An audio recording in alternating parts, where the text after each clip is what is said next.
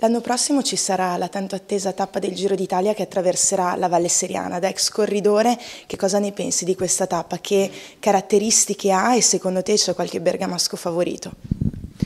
Ma diciamo che da ex corridore mi sarebbe piaciuta correrla perché insomma si adattava un po' alle mie caratteristiche, poi passando vicino a casa mia, scalando la seta che forse ho più, più volte scalato in vita mia come corridore, mi sarebbe insomma piaciuto tantissimo correrla.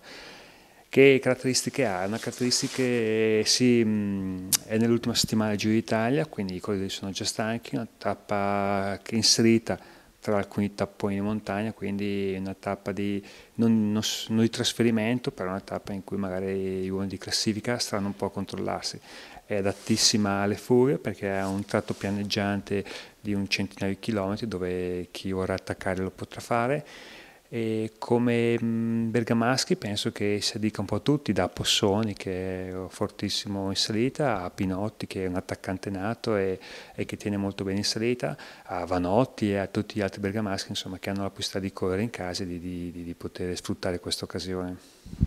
Tu adesso sei anche un amministratore comunale, secondo te per le realtà locali, per gli enti locali, che cosa rappresenta questa tappa del Giro d'Italia che passa sotto casa? È un'opportunità da sfruttare oppure che cos'è?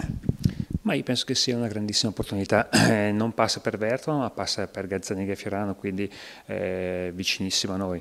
È un grande momento di visibilità, Gazzaniga rappresenta diciamo, l'ultimo paese prima dell'arrivo a San Pellegrino, perché poi Gazzaniga non, non, attraversa più grandi paesi e Gazzaniga è il trampolino di lancio di, del, della fase finale della tappa, per cui eh, c'è grande visibilità.